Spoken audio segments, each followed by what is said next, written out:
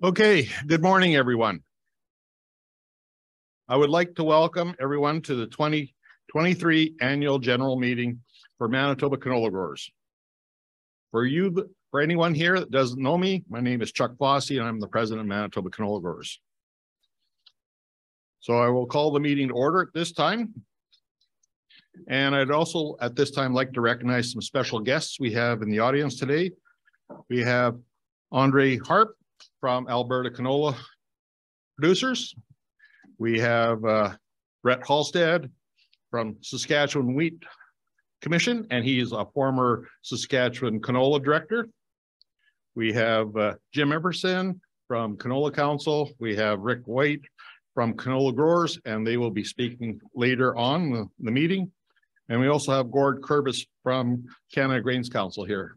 So, and anyone, I hope that I missed anyone, I apologize, but those were the people I saw this morning when I got in. So we are really excited to be together again in person and happy to offer virtual option to members as well. Just a few reminders before we get the meeting going. Voting members will be asked to vote using your voting cards. That's those white cards that you're given uh, when you registered. And you can also vote virtually, or those that are attending virtually can uh, also vote on motions and resolutions. Unofficial results of vote will be announced and visible to members. Votes will be audited and verified after the meeting with official results captured in the meeting minutes. We have time scheduled throughout the meeting to address questions. We ask those in the room to please use the floor mics so that everyone in the room and joining us virtually can hear your questions. For those of you online, you can type your questions using the Q&A feature and let us know what you want to speak to as a question by ask by using the Q&A feature and typing I have a question for or about. Everyone should have received a link to our AGM package prior to the meeting. If you have not had time to look up, uh, look at it, you can find it in your printed package here in the room or through the links found in the chat if you are online. As I said, the meeting will be recorded along with all questions and comments. If for some reason we are unable to answer or get a question, uh, answer a question, we will reach out and follow up after the meeting. Now, with all the details out of the way, we can get started. So, as I said earlier, my name is Chuck Fossay. I farm just west of Winnipeg in Starbuck, and I'm currently the president of Manitoba Canola Growers. And our vice president is Clayton Harder, who farms east of the city around St. Clements. Jack Froese is our treasurer, and he farms at Winkler. Our secretary is Bill Nicholson from Shoal Lake. We round out our board of directors with Pam Bailey from Dakota, Nicolia Dow from Portage La Prairie, Jackie Dudgeon from Darlingford, and Jackie is attending the meeting virtually, and Warren Ellis from Wawanesa. Up next, I would like to introduce you to our staff. Normally, we would be introducing our executive director, Delaney Ross Burtniak, but she is on medical leave and cannot attend today. Jennifer Dick is our market development director, and she is helping out covering Delaney's uh, normal duties and helping out, helping me stumble through this meeting. Uh, Leanne Campbell is our communications uh, senior manager. unfortunately, she is on bereavement leave and also cannot attend. Amy Dalaki is our research manager. Uh, she is currently on maternity leave, but she is in the meeting here today.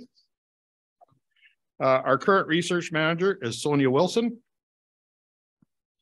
Karina Lepp is our grower engagement and extension manager. Our finance coordinator is Oksana Taryn. Carrie Livingston is our communications coordinator. She's over on the side here. Samantha Simone Vieira is our checkoff and member administrator. And Brenda Dick is our event and office administrator, and she's right at the back there. So our agenda, we are now going to move into the approval of the agenda. I hope you have ha all had time to review the agenda And that was provided in your package and is on the screen now. At this time, I would ask, are there any additions to the agenda? Okay. Are there any uh, changes to the agenda from our virtual? Okay, thank you. Seeing no additions, I would now look to adopt the agenda as presented. Can I get a mover? Okay, uh, Pam Bailey and a seconder, Robert Mis- Misko? Yeah. Sorry, Robert. Sometimes I forget names. Okay. All in favor of adopting the motion as, as presented? Any opposed? Seeing none, it's carried. Okay, we'll move on to the minutes. Referring to the minutes from our twenty twenty-two AGM sent out prior to the meeting. I would ask if there are any errors or omissions to the minutes. Nothing from our virtual audience, I think. So I'd like to call for a motion to adopt the minutes of our February seventeenth, twenty twenty-two AGM. Can I get a mover and a seconder? Yes, Boris. And a seconder? Oh, Rory, Rory Qualley, thank you. Okay, any amendments? Okay, I think I will call for the motion. All those in favor? Any opposed? Seeing none, no, no opposition, I declare that one carried. Okay. Well, we, no, I would like to take a minute to thank the other provincial grower groups for working with us to put Crop Connect on again this year. We value our partnerships with other commodity groups. Working together, we are able to put on a great conference and host our AGMs in a user-friendly and cost-effective manner. And I think it's really been great us all getting back together in person. And I've seen a lot of people renewing connections, catching up on what's been happening over the last couple of years. Partnering also allows us to work with amazing people like Elena from Planners Plus and Ron and Adam from Artisan, who are all quietly working behind the scenes today and for months prior to make this event happen. So uh, this time, I, I'd like to remind you that if you are planning to bring forward a resolution from the floor, please do so as soon as possible before we get to the that portion of the meeting. Procedures are found on your table and out and online at the link provided in the chat. And if you do have a resolution, uh, take it over to the side here to carry so that we can get a slide prepared for when we do get into the resolutions. It is now time to share our 2021-22 annual report highlighting programs, events, and successes from August 21st to July 22nd. This will be immediately followed by updates from our national partners at the Canadian Canola Growers Association and the Canola Council of Canada. If you have any questions, we'll be happy to address them following these three reports. Those joining virtually can type your questions into the Q and A feature, closely, uh, clearly stating who the question is for. So at this time, we will start our report video.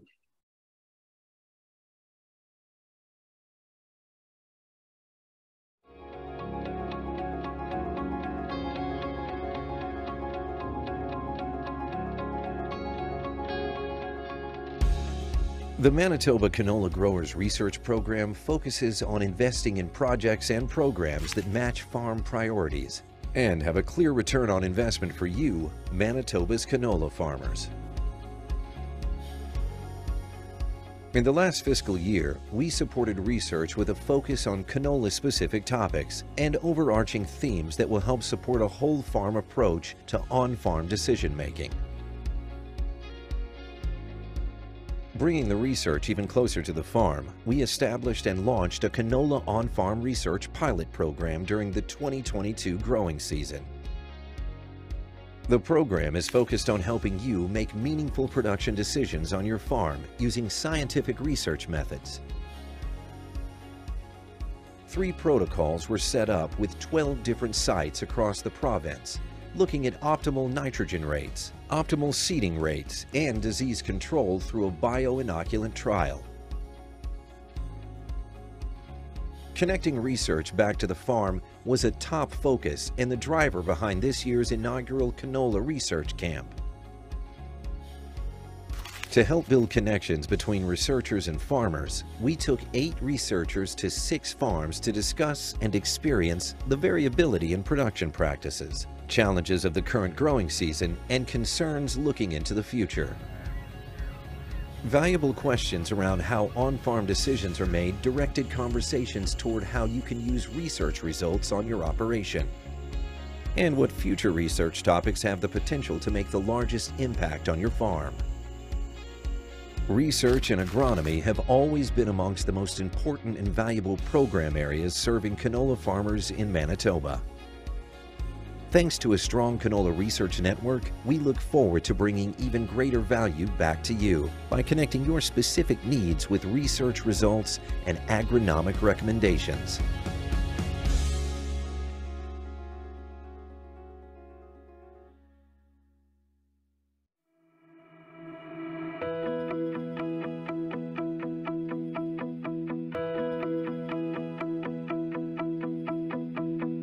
We're committed to being the voice of Manitoba canola farmers to Canadian consumers.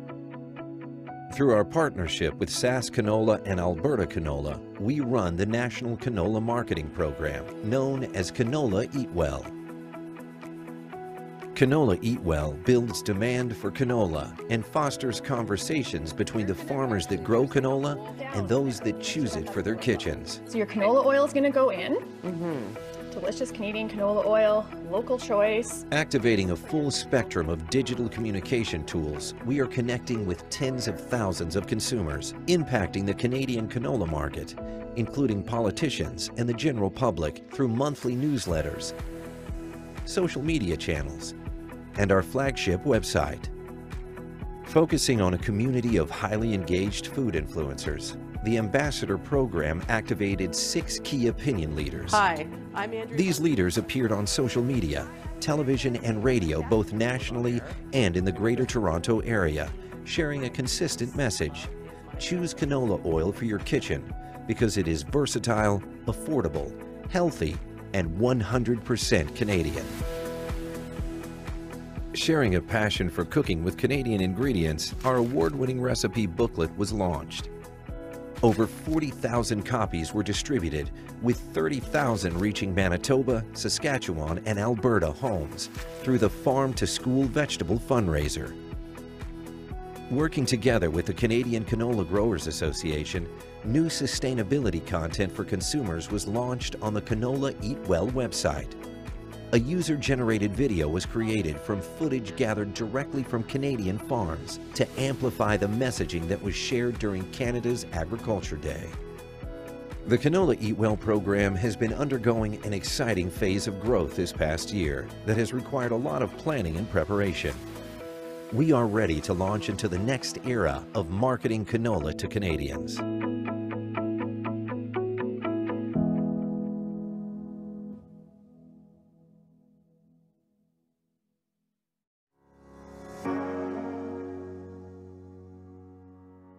Designed to support and engage farmers, our programming is tailored throughout the year to connect you with learning opportunities and resources that can be used to improve profitability and enhance sustainability on your farm.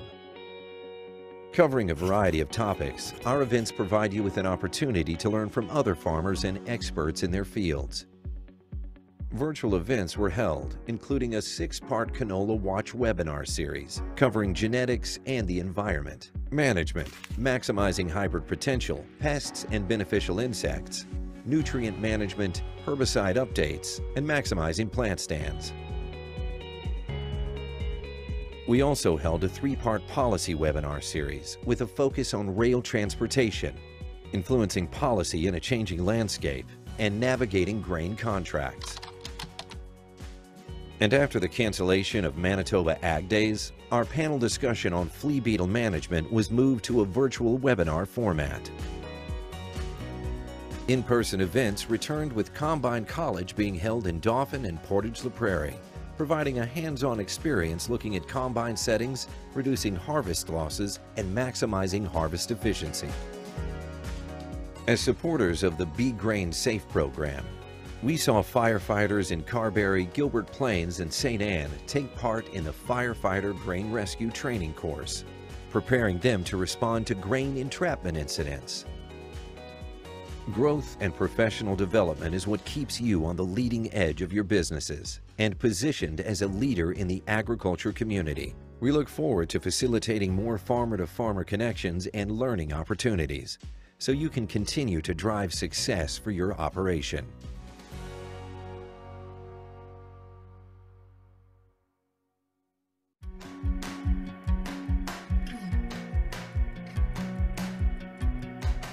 We recognize that the success of the canola industry hinges on strong leadership and advocacy for canola, from the time it's planted in the field to when it's consumed and all steps in between.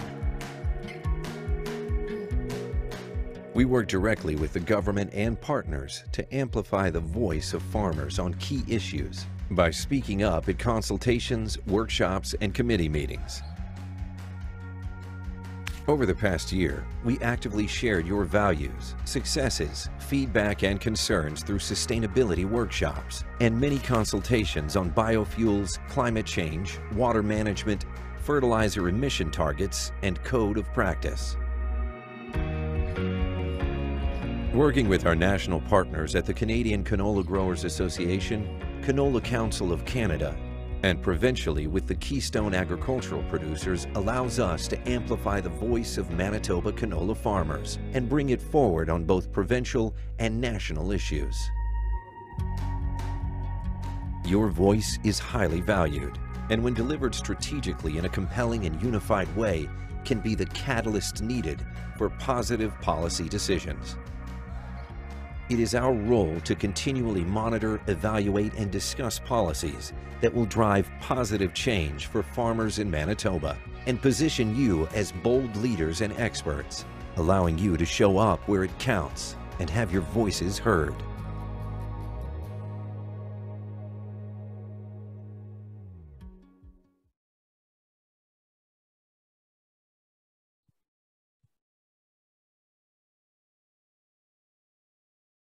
Okay, we will now move into reports from our two national canola associations. Up first, I would like to Rick, welcome Rick White, President and CEO of the Canadian Canola Growers Association, which is a national agricultural policy organization and an administrator of the Cash Advance Payments Program. Jack Froese and Clayton Harder are sit on the CCGA Board of Directors representing Manitoba canola growers alongside the other provincial canola grower groups. And we look forward to welcoming, welcoming Pam Bailey this month as a new director to CCGA. So, Rick. Well, uh, thank thank you, Chuck. Uh, thank you for the invitation by MCGA. Pleasure to be here, and uh, good chilly morning to everyone. Um, I will be quick because I think I have about five minutes. Um, I noticed uh, on the report from the MCGA that there's a lot of similarities in what I'm going to say in the next five minutes, which is an indication of the close collaboration that CCGA has, um, not only with MCGA and our other provincial members, but also the Canola Council of Canada. So there's a lot of commonality. We focus at the national level more so though. Maybe as a quick update on the APP um, 2022 program, uh, that is the advanced payments program, the cash advance program. We've uh, winding down now the 22 program. We're at 8,700 advances for 2.23 billion dollars issued this year. The $250,000 interest free um, uh, given by the minister of this program um, will be extended for the 2023 program. So there's another year of uh, 250,000 interest free under the program and all indications that that will go back to 100,000 for the 2024 program. And so anyway, just a quick update on that. And our number is high on the 2.23 billion, partly because of 250,000 interest free that farmers came in bigger way for advances. And secondly, prices are high, so we can advance a lot on a ton of grain now. So those two are the drivers behind that big number.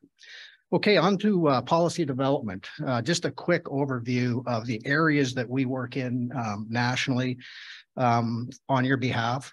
And um, I'll try to get through these seven uh, major policy areas. There's a lot within each one, but I'll just give you a quick sense for what we're working on in those areas. On trade and global advocacy, um, we work very closely not only with Canola Council on this, but the Canadian Agri-Food Trade Alliance. Um, that's our main uh, venues for uh, getting the trade message out there because trade is so critically important for canola farmers and the canola industry as a whole. Also, we're doing advocacy um, um, on trade through the International Agri-Food Network. This is a global uh, organization that we've been a part of for quite a few years now.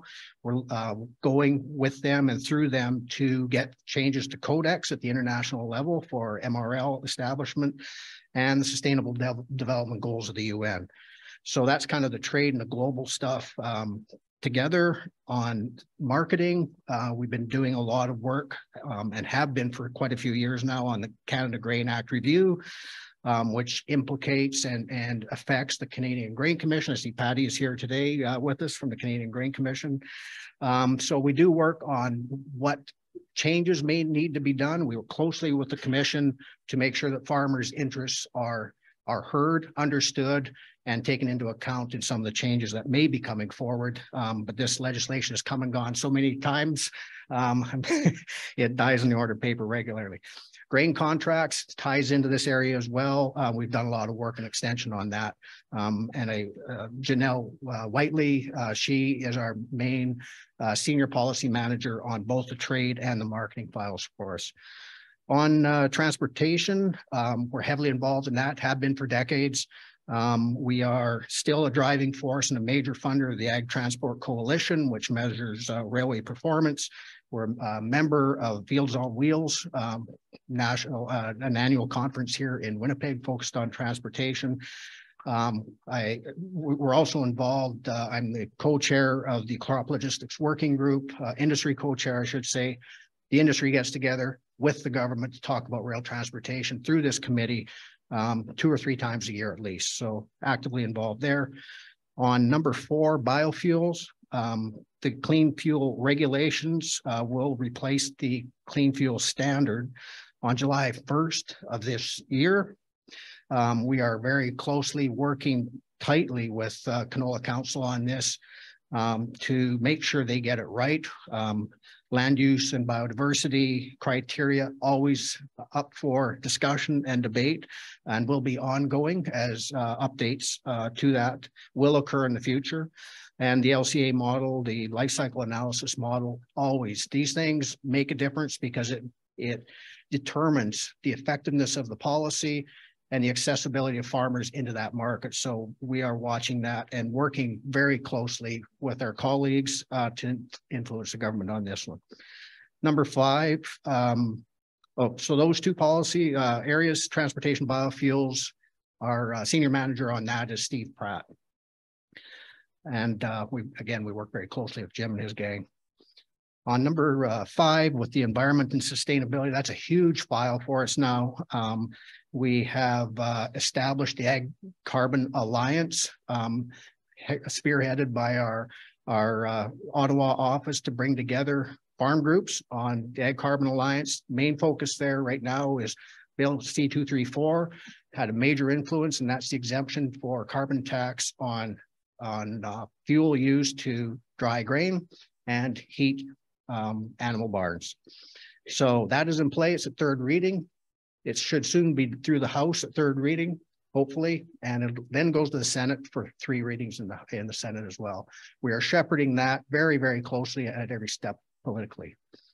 And uh, so that's that code of practice. We'll call it something different. We don't know what the name of it is yet, but uh, that is certainly been modified in the newest version uh, from the good farmer input that everyone receives. So thank you for that.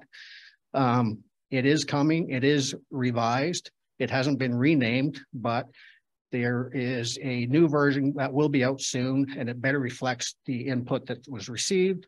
Um, there's more of a story to it um, coming through this new version, talking more about the successes, but it's still going to be a framework for sustainability at the end of the day, but uh, feedback has certainly been valuable.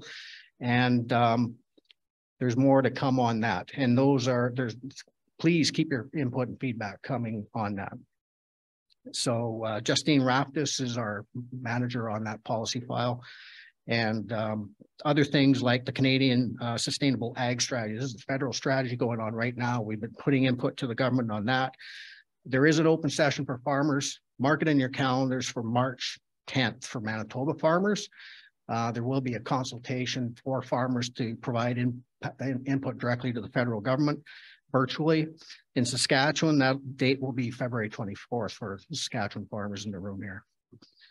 So uh, on crop inputs, uh, that area kind of encapsulates fertilizer sanctions, uh, or fertilizer availability, fertilizer pricing. Um, it includes plant breeding innovation. It includes our watering, water monitoring, all those crop inputs that you need as, as farmers to do the good job that you do. I also call it uh, innovation and science. And so that gets us also into the PMRA issues, evaluations, reevaluations. We all know how that how important that is. So that's the policy development area. So we're doing all this wonderful policy, but it's not just an academic exercise for it. We turn it into advocacy. So that's the next slide here is what are we doing on advocacy with all this great information and expertise that we have? We work very, very collaboratively, first internally, collaboratively.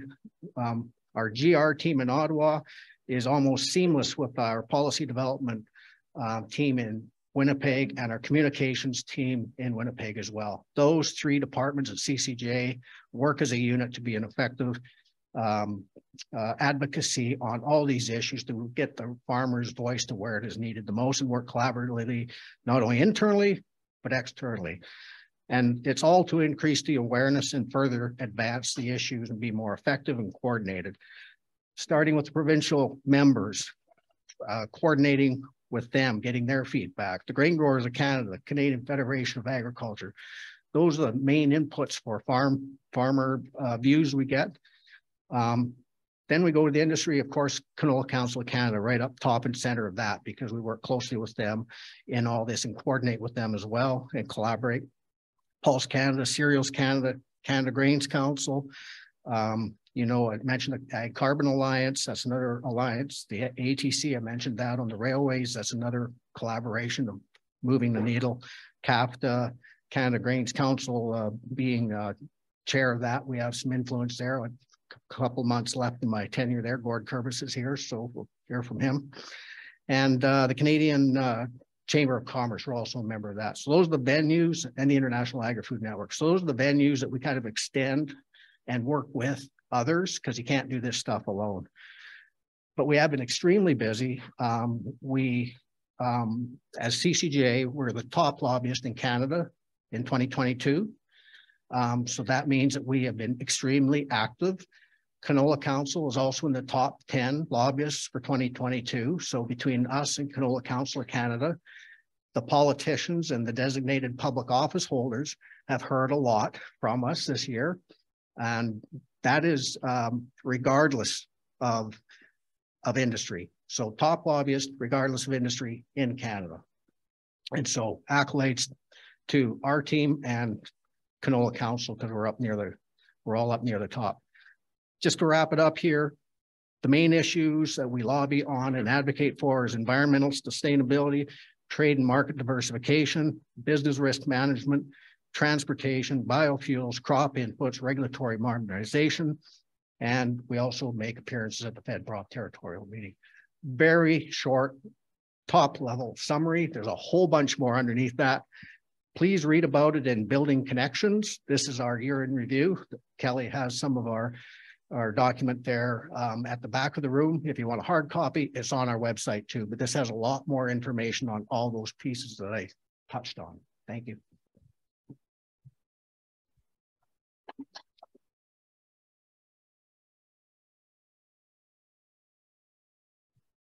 Thank you very much, Rick. And you can see that Rick is a very busy person.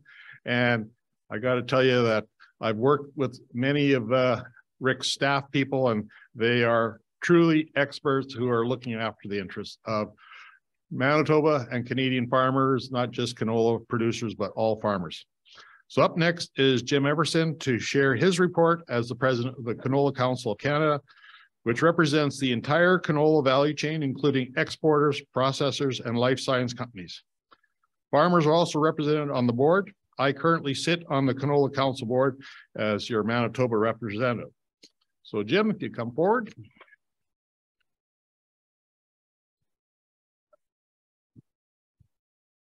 So thanks very much. Thanks, uh, Chuck. Uh, thanks for having us at the Canola Council at the uh, annual general meeting today. And I really appreciate the time to talk. I, I also wanted to, uh, I'm glad Chuck did the introduction to who the Canola Council is, and I wanted to acknowledge Chuck Chuck's uh, work as a director of the Canola Council. The Chuck is very engaged in bringing the grower voice to the board of directors, the value chain board of the Canola Council. He's the chair of our sustainable supply committee, which deals with our, our crop uh, issues, agronomy issues and so on, and uh, is on the executive of the Canola Council board as well. So um, uh, Manitoba's voice is very strong on the value chain table. I've um, I, I, take a kind of a similar approach that Rick did to kind of the major activities we undertake. We, we come at a lot of the work that we do as a canola council in terms of our access to global markets. We're exporting 90% of what we grow in, in Canada. So predictable market access and dealing with all the issues associated with that is, is kind of our bread and butter at the Canola Council. And it really starts with supporting growers in producing canola to meet the demand that we have uh, for canola globally which is strong and which looks to be strong for the for the foreseeable future with uh, uh, increasing uh, global demand just for vegetable oil generally, even even during the pandemic. Uh, demand for vegetable oil globally increased um, despite all of the shutdowns of restaurants and that sort of thing that took place during that period of time. And then on top of that, there's conflict in Europe, and uh, there is uh, a new um, you know, the, the world is calling on our industry to provide solutions around the environment. And, and we are stepping up through the biofuels area where we're contributing a low carbon food feedstock that is going to help reduce GHG emissions and transportation fuels all through North America. And um, so that is also creating demand that I think is going to be good for the grower and good for the industry over the next period of time. So it really starts with supporting the grower. Um, we have a team of agronomists across the growing region that are directly in touch with growers on a daily basis and with the, the agronomy networks uh, in order to support uh, growers there. Our 2022 and uh, this year, a lot of that acti activity, especially here in Manitoba, revolves around solutions to the flea beetle issues and verticillium wilt, um, where um, you know, we bring the group together to look at what the experience is that growers are having, to look at the both the short term and longer term research priorities we have to understand those diseases, to and then to work and translating that research work into uh, best management practices and solutions that growers can deploy on their farm and help, and then work very closely with the provincial commissions in communicating that work out to their grower members. Um, so you saw in the video that Manitoba canola growers put together uh, a lot of uh, photographs and so on of the work being done to produce canola watch during the growing season and um, to take that work and the advice that comes from that and best management practices and communicate that out to, to growers. So that's the that's the significant part of the work we do uh, there. Um, and then market access, trade and promotion. So it's really a significant part of the work the Canola Council does. Um, in 2022, the, the year that we're reporting on, much of that activity revolved around the, the renewable fuels area. Uh, Rick talked about the work being done on the Canadian fuel regulations. Um, it, it is a regulatory plan for using low carbon feedstock in, in biofuels in Canada and really a great close working relationship with the CCGA at the national level, um, uh, where we have Christopher Vervaet, who's uh, with the executive director of the Canadian Oilseed Processors Association, and also on my senior management team at the Canola Council, worked really closely with Steve Pratt and continues to work on that issue. Um, to ensure that the regulations are in place are really uh, uh, positive for the grower and uh, contribute to the, the growth of that industry in Canada. But at the same time, uh, we also focused on the United States and uh, last year, uh, late last year, the Environmental Protection Agency provided a pathway for Canadian canola into the renew renewable fuels um, system into the United States. There is there very, very significant investment being made, as you probably know, by by processing industry and particularly by the fuel industry, uh, the oil and gas business and gas retailers in uh, the development of the renewable fuels industry in the United States, which will create, you know, really great market opportunities for Canadian canola into the North American renewable fuel space.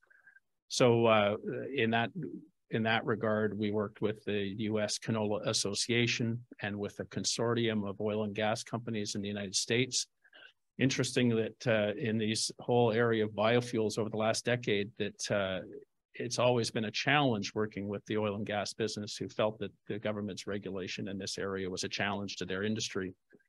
That that's really changed, and in in uh, in all of North America, the oil and gas and the gas retailers and so on, because the compliance requirements they have to meet environmental standards are really on side and are looking for opportunities to have feedstock choices uh, for the development of uh, of fuel for domestic uh, fuel consumption in the future. And so they're very keen on having canola as a feedstock. And we've been able to cultivate a coalition of partners in the United States to help bring about this, these uh, regulatory solutions.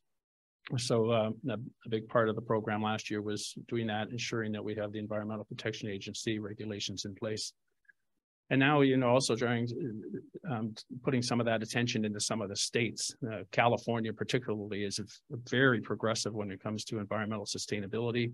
Population larger than Canada, um, and they have a clean fuel, a low carbon fuel standard that they're putting in place. And so we're also doing work there to make sure that canola is recognized in that regulatory pathway. So a lot of a lot of effort there. Another thing that was a success in 2022 was working with the government of Canada and in this case, we partnered with Cereals Canada and Pulse Canada to uh, put more resources into market access and regulatory issues in Asia. So you may have seen that uh, uh, earlier this year, the government announced a new, what they call Indo-Pacific strategy. And it includes an investment in new resources specifically for agricultural trade in Asia. So when we look at the landscape for growth in our markets, um, the biggest opportunity for growth because of population growth and because of uh, disposable income um, growth in, in Asia is the Asian marketplace. We already, you know, very reliant on markets in China and Japan. Um, but there is there is real opportunity in markets like Vietnam and Thailand, the Philippines, Indonesia, and so on. So um, we're really focusing our trade agenda um, negotiations of free trade agreements. There's one on now between Canada and Indonesia. Um, there's also an Asian trade agreement, which will bring in some of the Asian countries that are not already duty free because of the Trans Pacific Partnership. So we're um, involved in supporting the government of Canada in negotiations of those markets. Um, and the um, Asia Pacific office that they've announced for agriculture marketing is going to be really helpful to keeping in touch with the regulators and policymakers in those markets where we want to where we want to have growth in the future. Um, and so we're really pleased that we were able to uh, work with the government of Canada to put that those resources in place. And then innovation is another, just the third pillar of the work that we do. And that I would break into really two large categories. The first is helping to coordinate research, agronomy research with the provincial grower commissions. Um, you've seen in, in the video earlier the effort uh, Manitoba canola growers put into research. Um, we work really closely with uh, with all the commissions on that. Um, this year was the last year of the five-year uh, science research cluster, where the government of Canada and and provincial commission dollars are merged, you know, in a in a in a cost shared program to do uh, agronomic research. So that program comes to an end this March, and uh, the Canola Council has coordinated the work of putting a new application together for the next five-year period, working with each of the provincial commissions, including the Manitoba Canola Growers Association. We also help coordinate the Canola, canola Agri Agronomic Research Program, CARP, um, and are involved in a number of other uh, uh, pieces of work around uh, around science and innovation from that point of view. then the other part of it, and, and Rick mentioned this too, is the work in the regulatory side. You know, we're bringing a message to the government that we cannot be competitive eh, externally, competitive in global markets if we don't have a regulatory system in Canada that's positive and growth oriented for our industry. So that includes making sure that crop protection products are not removed from the toolkit to uh, toolbox for growers. Um, being sure that the regulatory systems are as uh, as uh, efficient and uh, responsive as possible. So a lot of effort being spent on the PMRA issues, issues like Lambda and, and the reevaluations that are underway, the PMRA for crop protection products and regulatory systems such as the Canadian Food Inspection Agency's framework for regulating gene edited products and so on. So a, a very big effort into that. You know, canola is all based on innovation um, and uh, and we need to be sure that the government of Canada provides an innovation, an innovative framework. Um, and a big part of that, uh, Rick also mentioned the work being done on sustainability, and and uh, we partner with the CCGA and, the provincial commissions a lot on that. We also really take a lens from a from a customer point of view, and one of the things that's happened during my time here uh, as the president of the Canola Council is uh, the interest that our customers have in these issues around carbon emission reduction and sustainability have become much more pronounced. So, so our effort in this space, um, Rick mentioned the Carbon Alliance and, and the work being done kind of on domestic regulatory issues, and that's really critical work that's being done well by the CCGA. Our focus is on um, how do we um, engage and respond to the questions that are coming from the Japanese and from uh, you know the big uh, oil oil purchasing food companies and so on when they're asking questions about our strategies around emission reduction sustainability measures and so on because their shareholders and their customers are asking those kinds of questions. So uh, we're we, we're working in that area is how do we respond to those? And i think what our customers mostly want to see is that we can manage the discussion that's taking place around those issues and at the same time continue to provide them with a reliable supply of our quality product, which is what they really want. They want access to that product without without the challenges and, and, and incursions that can take place as a result of these environmental issues. So that's largely uh, what we're doing. One the last thing I'd mention is, is that we've got a big convention coming up in March. March. What are the dates? 7th to 9th in Ottawa, and uh, we we partner with the Canadian uh, uh, Grain Canada Grains Council as partners in delivery of the crop uh, conventions taking place in Ottawa, uh, March 7th to 9th, and hope everybody can make it. It's great to be able to be back in person and see people. And so um, that's it. Thank you very much. Thank you for your time today. Look forward to any questions, I guess, after now or no, now. No, to get white up here too. yeah. No. So Rick will join us here. And so now's your opportunity to ask questions. Jen's going to moderate. So Jen, go ahead. If you have questions, please uh, make your way in the room to the two mics and you're flagging at the table if something comes up online. Okay, great. Hi, Ian.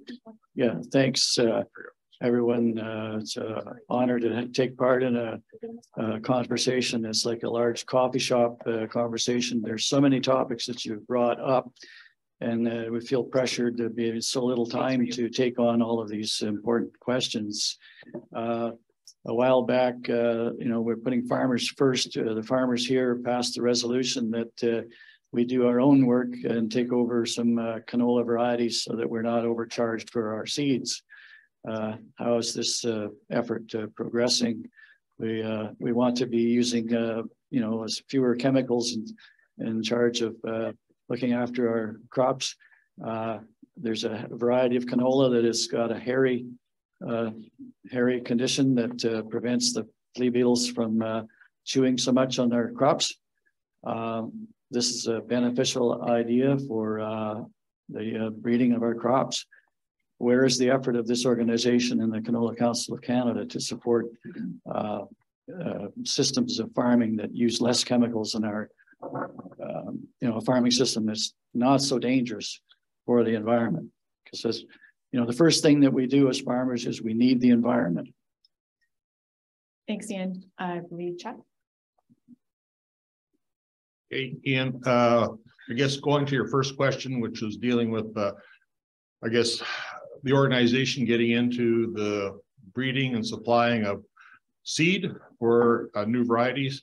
We looked at that. We uh, were looking at open pollinated varieties because as I remember it, uh, motion was talking about, you know, providing low cost seed that farmers can reuse.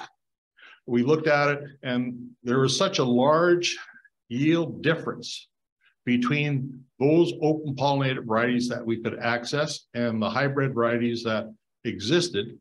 Uh, I believe we did report to the, uh, the membership at, at the time, there's about a 30% difference in yield. And we just felt that the yield difference, nobody would want to grow those varieties. And the cost of developing a variety we felt was not where we wanted to spend our money.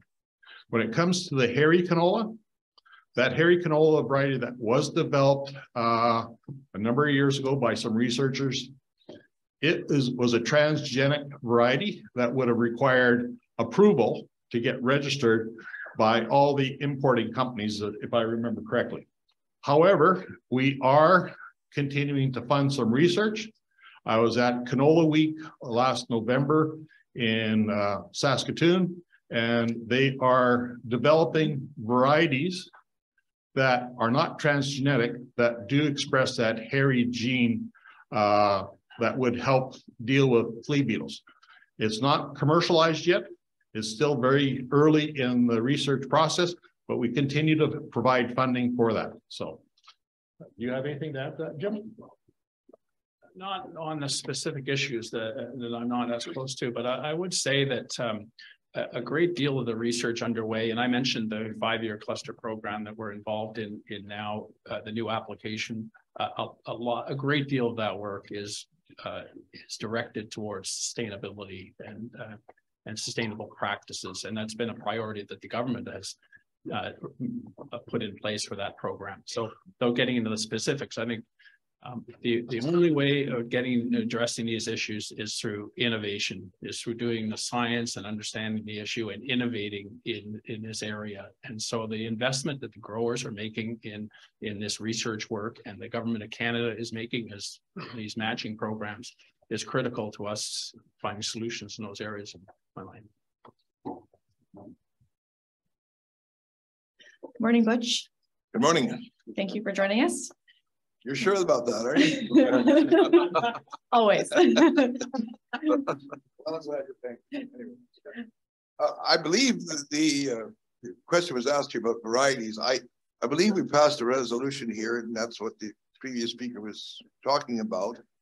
Uh, I don't think our resolution said it was any particular kind of varieties. We just wanted, at that time, I believe the membership wanted uh, the, the management of canola growers to look at developing not any specific variety, but owning varieties. And I know I know it's it's not that easy, but owning we should owning varieties and then the revenues therefrom would go into further research. That's I believe how it was. I don't think it was specific to any variety. Um, Rick mentioned crop inputs, and I on one of the list of five, and I believe five was inputs. I think if you had asked the farmers in this room one of the major concerns that we have now, although we're getting very good prices for our product, is the increase in input costs. And, uh, and that is, and I also understand that CAP is involved with the um, program through the Federation of Agriculture to look at that. And what really farmers think is, sure, lots of costs have increased because of the pandemic and stuff, but generally we think that we are getting ripped off on fertilizer costs. And I just want to know how that's coming, if we're making any headways there, although that's a big hill to climb, I understand that. And Rick, you can give us all the answers for this. First of all, I don't know all the answers much, but thanks. Um, no, I, I mean, your point's taken. Um, you know, when we uh, look at farm inputs, um, and by the way, that list was not in any particular order. I grouped them according to the managers, so uh, I wouldn't take uh, take that as a signal that it's low on the on the on the list. Um, you know, fertilizer prices. I mean, they we know how expensive that is, and um, we know the disruptions in the world and we know the disruptions with Russian sourced product, um, supply chain issues. I'm not making excuses. It is too expensive. Um, but at the same time, if these levels of fertilizer persist longer term, then innovation needs to come in to use less fertilizer without the yield drag. And so um, that's the long game. I, I don't believe that there's a regulatory approach that would make a lot of sense um, to, to deal with that. But I think, in my view, as long as farmers have their innovative toolbox full of options for you, whether it's not using fertilizer or using less fertilizer or using seeds that you require less fertilizer. I'm a strong advocate of giving you individually all the tools at your disposal to do the right thing on your particular farm, not necessarily um, a process uh, type of approach to things, but an outcomes based, right? You know the best mix for your farm. You know the, the best management practice. You know what you need to do individually. I think our job here is to make sure that you have all the options available, whether it's genetic modification, gene editing, organic, agroecology, you name it. Um, I don't care about the process. I care about the outcomes. And I think we also care about the outcomes. So the outcome of having too high a fertilizer prices will encourage you to look for other options that are available to you to help mitigate that. But I, I do know that it is high on the, on the radar screen, especially when sanctions were put on fertilizer from Russia because of the war. And the fertilizer price went up because the government taxed it. Um, that caused a problem for the farmers, particularly in the east, but the law of one price holds, so it kind of impacts everybody, I believe. Um, but again, long term, I agree with you, Butch. Fertilizers prices are too high. That's probably a supply issue uh, that needs to be resolved around the world, and we just need more supply of fertilizer to bring that price down. Need to remind you what the other options is to cut with soybeans. Yeah, yeah, you, you have that option, right? And, and when the, when the demand for fertilizer goes down, the price will come down too. So, so yeah, the market should work. Thank you. We're going to take one more question um, here at the AGM, but please know if you have additional questions, there'll be board members and staff around um, afterwards. Carrie, we're going online. Oh, I don't want to take up the last question then. You are, you are welcome. Okay. Um, Geralyn Wichers, the Manitoba Cooperator. It's always a chance uh, when I ask a question in a room full of farmers that I'm the only one who doesn't know the answer, but I will ask anyway. Um, uh, both Rick, you mentioned how busy both organizations have been lobbying. Um, so this question is both for you and for Jim. Um, why have you guys been so busy? Like, is that normal? And um, secondly, uh, where have you seen the most success or progress? So, uh, Rick should comment. We're, we're busy because, um, you know, I think Canada is probably one of the one of the places where the the, the, the diversification between people that live in cities, people who live in countries is as big as is broad as uh, as any any other democracy, if you like, or any, you know, country. So we're, uh, Canada's just announced they're going to bring in 500,000 people next year as new immigrants. They're pretty much all going to go to cities so that, you know, farms are getting bigger with less people. So there are, you know, our situation there is a challenge. So we need to be there, especially with a government that is really a city government, you know, like uh, don't have a lot of rural members, frankly. Um, we really have to be active to remind them all the time about the importance of agriculture, um, the economic impact that the agricultural industry has on the economy in general, um, the quality of the products we we produce. When it comes to these issues around sustainability and globally, you know, we are very sustainable producers of agricultural products in Canada. And if we're restricted in our ability to grow those products, then they're going to grow somewhere else where the sustainability practices are, are less good and their sustainability metrics are less than Canadian. It doesn't make any sense. And we need to be able to explain those things you know, to politicians and, and, and, people in government. So, so that's why we're stepping up and really being active. And CCGA and the Canola Council and the Canada Grains Council are all co-inhabiting an office in Ottawa, so we're together where we can work together on these issues and make sure we're collaborated and focused on the work that we're doing. So that would be my answer. If I could just take one sec, Rick. I'd like to recognize Chris Manchur and Courtney Boychuk, who are, are stand-up people. Um, our agronomy specialists uh, that work here in Manitoba, and I meant to, to introduce them in our uh, in my speak, speaking notes earlier on and forgot, but um, you know, they're the answers to all our agronomy issues and so on here in the province and the work that's being done currently on flea beetles. And Chris is one of our major people on our research agenda. Um, verticillium wilt and so on are also issues. So I just wanted to make sure people all knew that they were in the room and um, they're part of our agronomy team here in Manitoba. Yeah, I mean, it's a great question. Um, part part of the activity was we're getting back to face-to-face meetings, so we need to reestablish face-to-face meetings in a bigger way. Um, so that did occur to a larger degree.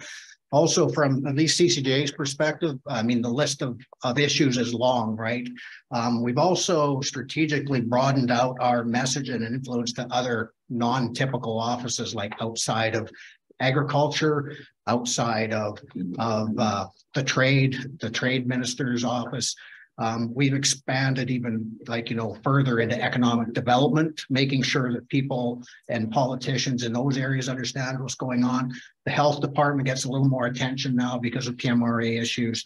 Um, uh, like, you know, the Prairies Economic Development Canada target, um, we targeted that uh, a little more strongly. So we've cast the net further and creating, um, I guess, messages and influence beyond just the core that we normally would do in a strategy to make sure our voice is heard even more broadly. Because all these departments at the federal level seem to be intertwined and interlinked and environment and sustainability is in every department uh, including finance right? So we're it's a concerted effort to broaden out our scope too. Mm -hmm. maybe i'll just add my small opinion to this is fact is that right now, you know, because of the pandemic, food security is becoming a greater interest. Uh, climate change, carbon sequestration is another growing issue with uh, industries, the food processors, and they all are looking at agriculture to either play a part of the reduction in carbon emissions or to help sequester the carbon out of the air and into the soil. So as Rick and Jim have indicated, this affects many different departments than what we used to traditionally deal with, which was the Department of Agriculture and maybe health when it came to PRMA and a little bit of trade. So, you know, it's just right now, sustainability, food security, climate change are all very hot topics with the government. And that's what causing a lot of the activities that uh, council and canola growers are dealing with. So, uh, Ian, uh, I, I'm afraid Order, order Mr. Chairman, uh, with respect to everybody, I think it's important that this is the only time that we come together to discuss all of these important issues. And very briefly, I want to say about sustainability and carbon, that if you ask farmers directly about that, that's one of their most important concerns when it comes to raising their crops and being profitable while they do it. And uh, if you ask the National Farmers Union, uh, which has happened, and we have written uh, the Farmers Union a report uh, called Tackling the Farm Crisis and Tackling the Climate Crisis. Uh, you will see uh, the viewpoints of many, many scientists and farmers on what can be done over our, our climate challenge and all of the issues associated with that, which everyone, this is all hands on deck there's an emergency situation in the in our climate. Uh, Greta Thunberg has sent this for us, and it's important that all farmers understand this. Uh, the the uh, population understands you, this. You have a question, Ian, because we have to move along with the meeting. We're the running. The question is that we cannot do uh, justice to all of these topics in a very short time in a meeting like this. And it's uh, it's important that farmers come together because we have a different agenda from industry and we want to have our voice uh, part of the uh, solution, obviously. So the question is that you're not taking into account the viewpoints of farmers um, in the way that they should be. Because uh, while we're doing this work as farmers raising crops, it's also about net farm income. It's not about gross production. Uh, gross production helps, but that also makes big profits for the trade, obviously. So it's important to expose all of these points and have proper discussion about it so that farmers understand the job that we're doing. And that's about, uh, you know, helping the communities. And if we get less and less farmers involved in the world, that's a Ian- problem. Ian, we're running out of time. As I said, we're, we're limiting the questions. And if you have a question, state it briefly. We don't have time to listen to, uh, a long discussion at this point. I'm sorry. I appreciate that. So the question is that we need to account for uh, the viewpoints of all farmers and all of the public. It's not just about a trade issue. So how can you widen your consultations and, uh, and do that in a forum like this where those issues needs to be discussed because the time allowed here is too short. So I'm saying we need longer time, don't we, to discuss this? Okay, you're right. It is uh, not the right forum for this type of discussion. Uh, but I do believe, like, you know, we, there are a number of consultations ongoing. There's the code of practice where farmers have the opportunity to voice their opinions and comments. There's also the upcoming, uh, was Canadian Sustainable Agricultural Strategy. That is a virtual meeting that is open to all farmers to join in. So I think, you know, there are opportunities for farmers' voice to be heard. If you listen to that presentation yesterday about uh, agricultural strategy or whatever it was called and how organizations work together to have the farmer's voice heard, you will see that there's a broad coalition of farm organizations that represent all commodity groups, all provinces that are lobbying the government when it comes to these issues of sustainability and climate change and everything else that deals with maintaining profitability for farmers and at the same time supporting sustainability. Uh, is there anything you gentlemen like to add? Very, very briefly, Ian, um, good to see you, by the way. Um, rest assured that CCGA speaks with a grower voice. We collaborate with the industry, with council and all this stuff, but collaboration doesn't mean that we are silenced. And so CCGA, MCGA, we have a very clear grower voice on your behalf that doesn't replace your own voice at some of these uh, uh, opportunities that Chuck pointed out. So please know that your voice is being heard in many venues, especially through this organization and, and even the MCGA, because sometimes we just disagree with the industry and, and, but that doesn't mean we don't work with industry because we're stronger together. But that doesn't mean the voice is not heard, respected, or listened to. And that's why CCGA is here. Thank you. Okay, once again, thank you, Rick and Jim, for your presentations and for answering questions. Jen, thanks for the moderation, but we do have to move on.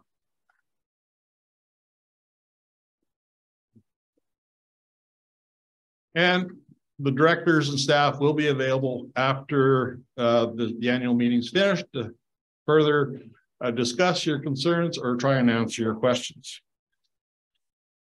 Uh, next on the agenda, we will move into financials. To do that, I will now turn the meeting over to our treasurer, Jack Froese.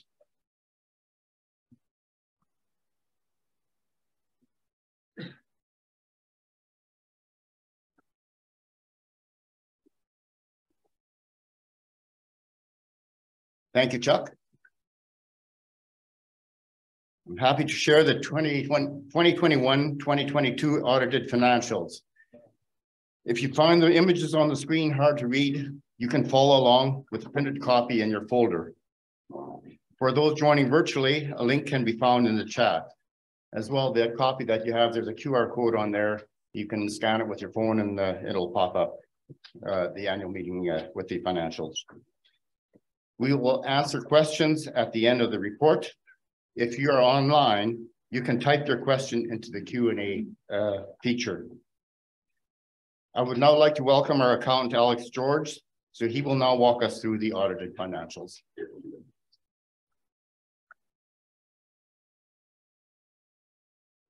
Great. Uh, good morning. Uh, so we'll start with uh, for the opinion on the audited statements. Uh, it was unqualified, uh, meaning that the statements were presented fairly in all material respects.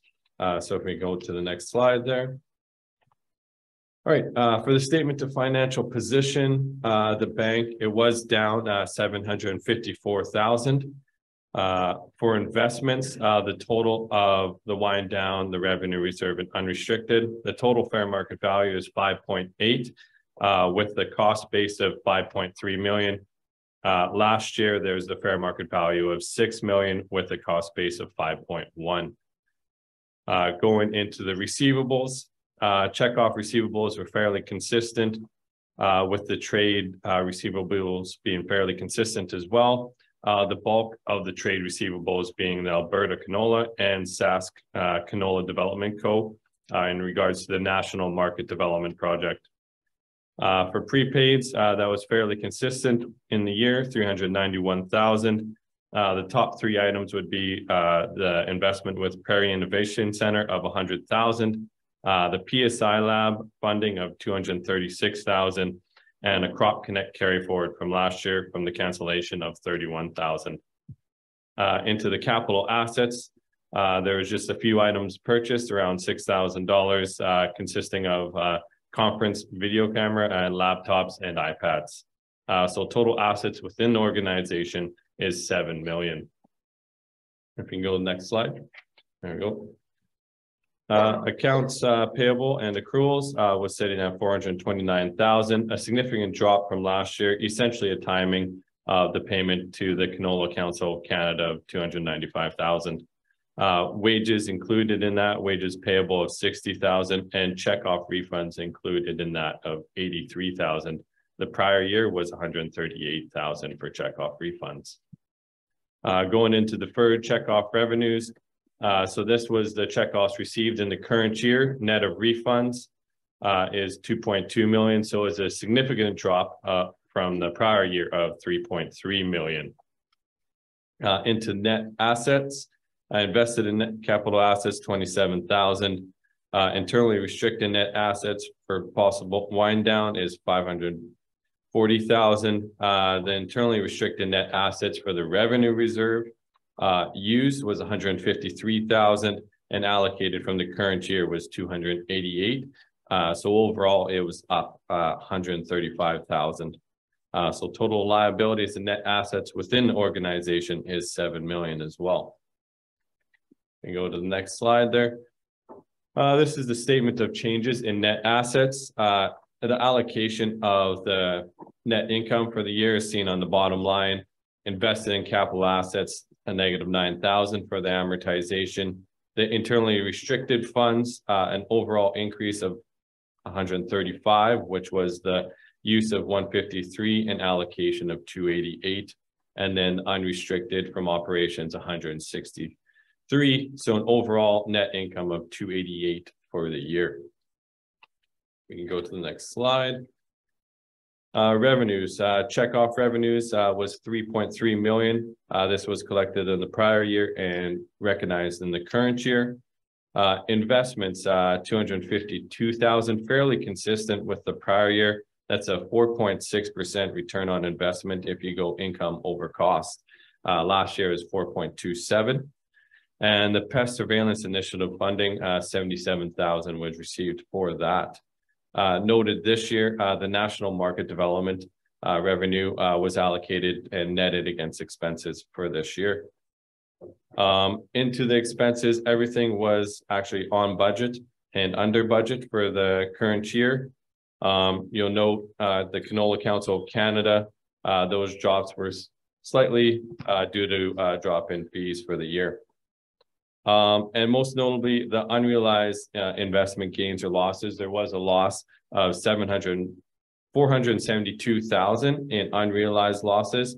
Uh, it is a conservative uh, portfolio, uh, so there's uh, over 60% in bonds. And as interest rates rise, bonds take a hit. So there was a significant loss there. Uh, so it brings you to a net income of 288. Go to the next slide there. Uh, this is detailing the schedule of expenses. Uh, for Board of Governance, most notable, uh, professional fees up. There was the election, uh, so there was legal fees around fourteen thousand. And the election of fifty-eight thousand cost.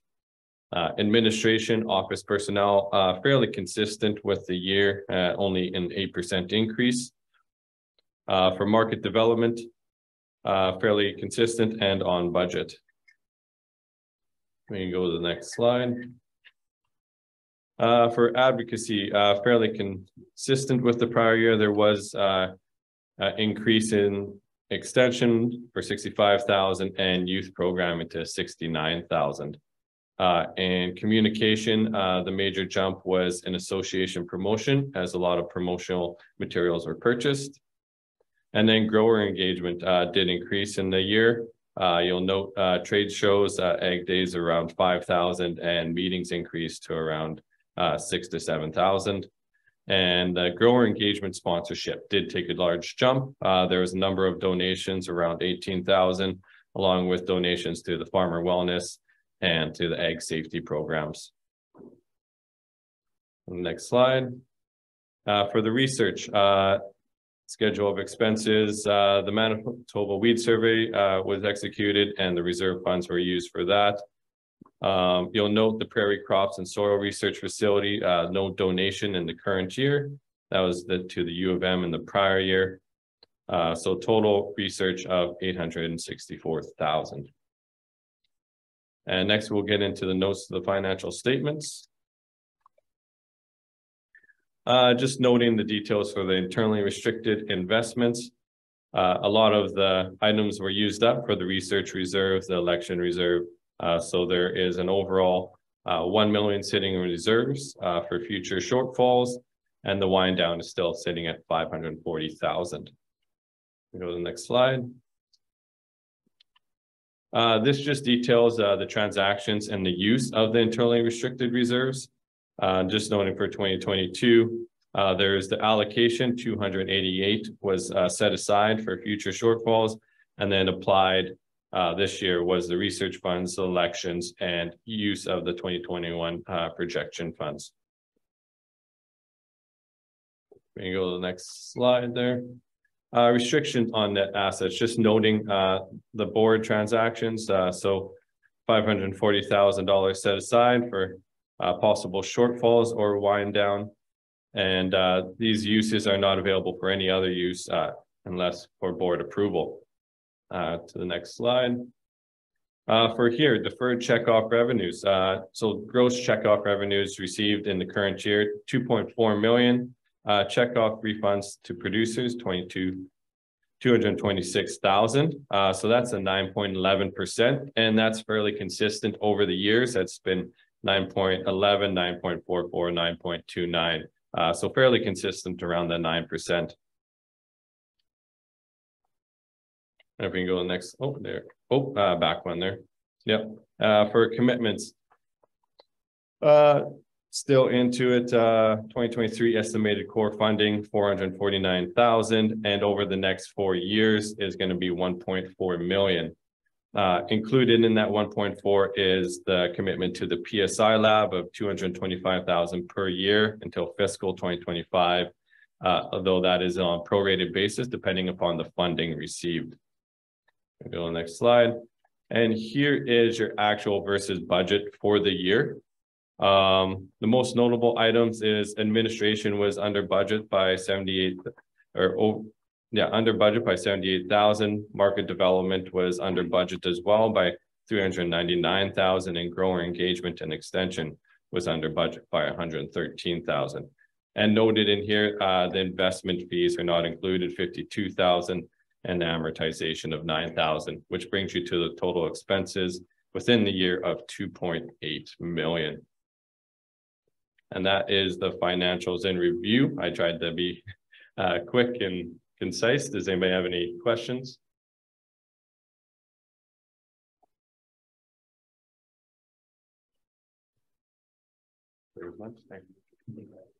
Thank you. Alex. Uh, oh, Alex, maybe stay up here just in case there are questions. If there are any questions, you can uh, address them to Alex and myself.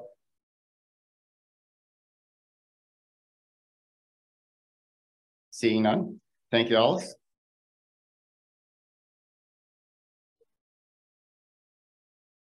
I will now make the motion to accept the financial report for the 2021-2022 year as presented. And I'm looking for a seconder. Brian Chorney. Any comments or questions?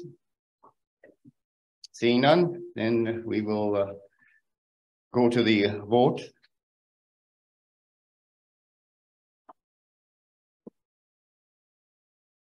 Got the online stuff going, Carrie? Okay. All those in favor? Opposed? Good. Okay, the motion carries. Uh, I'm now looking for a motion to appoint DF George as the auditor for the MCGA for the financial period ending July thirty-first, twenty twenty-three. Pam, second pick. Uh, Robert Miskell. That's uh, moved by Pam Bailey, uh, seconded by Robert Miskell. Any further discussion?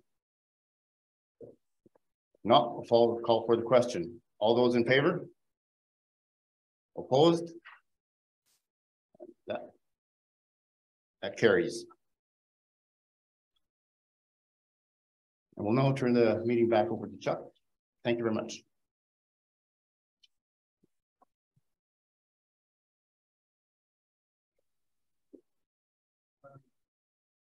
Thank you, Jack. I know our meeting is running a little long, but we do have a few other items of business we need to deal with. MCGA board would like to propose two amendments to our bylaws that we have identified as an opportunity to simplify the process during our AGMs and during the elections. I am seeking a motion to approve the following changes. First is a new clause, two point zero eight, that confirms MCGA's ability to act as an agent on behalf of its members for the scientific research and experimental discovery tax credit. To provide farmers with a CRA approved tax credit on their checkoff each year. We currently vote on this motion each year and adding it to our bylaws would save time at each AGM and align with the bylaws of other commodity groups in Manitoba. The second amendment is intended to reduce barriers for farmers considered running for election on the MCG board by reducing the number of required signatures from six down to three. I am looking for a motion from the floor to support the amendment amending the MCGA bylaws to include a new clause 2.08 and the rewording of clause 6.03 E3 as proposed by the board. Could I have a mover, please? Bill Nicholson. And a seconder. Pam Bailey. Any discussion? Okay, seeing no discussion, I will now call for the vote on the motion to amend the MCGA bylaws to include a new clause two point zero eight and the rewording of clause six point zero three C three. All those in favor, please indicate. Opposed? I declare that motion carried. So we'll move on to resolutions at this time. We did not receive any resolutions by the deadline of January thirtieth. I will just pause here to see if there are any resolutions being brought forward from the floor in the room or virtually. A reminder to our membership that any resolutions brought to the meeting from the floor must receive a ninety percent approval from eligible voters to be dealt with at this meeting.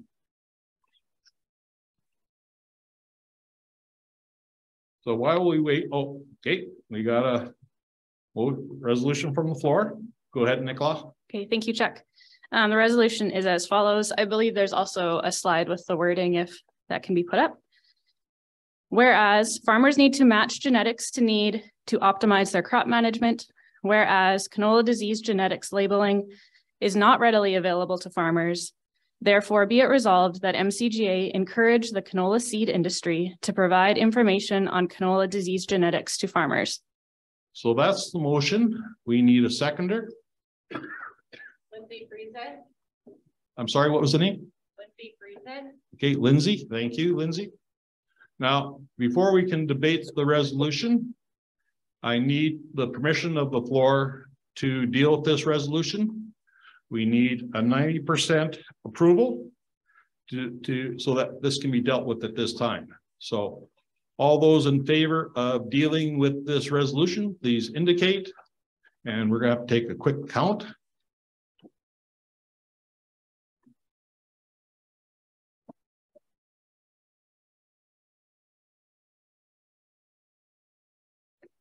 Okay. Do we have ninety percent there? uh?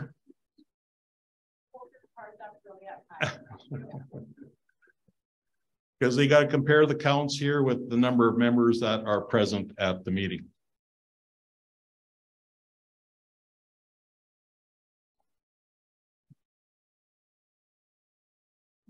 And are there, you got the, the count, so the people. Okay, I think we can put. Yep, we're just gonna lower your hands and, and just for form's sake, I'll ask any opposed. Okay, I only see a couple opposed, so it's probably passed.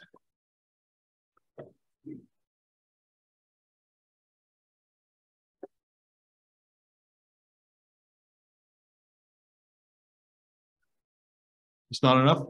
Okay, I'm sorry, uh, we cannot debate it. I guess some of our members have either left or didn't abstain, or they abstain from voting. Uh, if you abstain, that is considered a, a no vote. So therefore, we are going to move on to the rest of our reports. So uh, I'd like to give you a brief update on the most recent resolutions from 2021 regarding uh, mandatory export sales reporting. This is a resolution that was passed at our previous annual meeting. Export sales reporting was brought forward as part of CCGA's position on the Canada Grain Act and the Canadian Grain Commission modernization. It was supported by MCGA and other provincial grower groups. In 2021, CCGA looked at options for different actors who could collect the information and create messages to support CC, CGC's role in marketing transparency using this kind of reporting. CCGA and MCGA continue to raise the, the ask where applicable, but there have been limited platforms to engage on the data aspect of the review. CCGA's plan is to promote this as a reform to the Canada Grains Act as there will be an opportunity to clarify the CGC statistical mandate and discuss market transparency and producers. In January of 2023 meeting with the CGC, the question was raised about export sales reporting and CGC shared that it is currently outside their mandate. They are limited in their ability to engage on it. Also in 2021, Sask canola groups oh, pardon me, Sask crop groups engage mercantile consulting to look at data requirements for transparent markets, which highlight export data and sales reporting. There's interest from multiple groups and we continue to pursue this ask. So uh, I'll ask this time, are there any uh, resolutions from the floor that have come online? Nothing from there. So we move on to other business. Just trying to get up to date here on my script.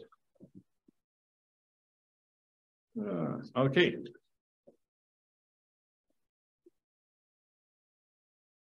I don't think we have to deal with this one.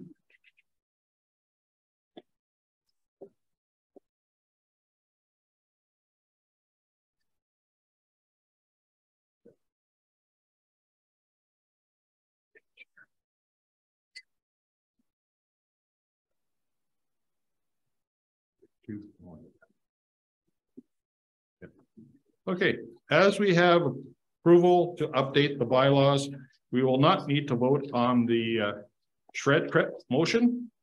I want to remind all members that once approved by Canada Revenue Agency, the SR and ED letters will be available on our website for you to share with your accountant. As funders of all MCGA research, you are eligible to get a tax credit for the eligible research projects. We have applied for a credit of fourteen point two percent, and we'll let you know when we receive approval.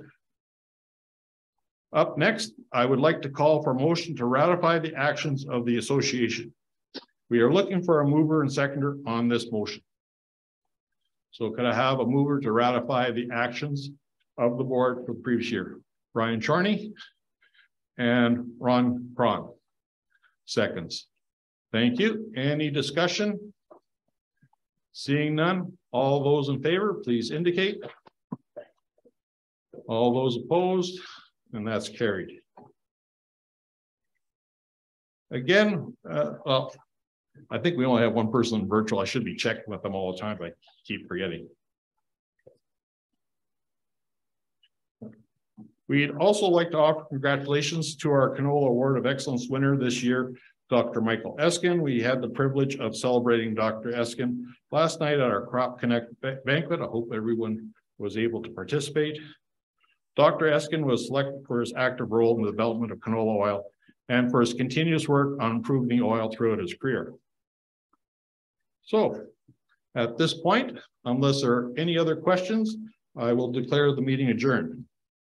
Thank you, everyone, for attending the meeting. A recording of this meeting will be made available on our website in the coming days. So thank you, everyone, and please enjoy the rest of Crop Connect.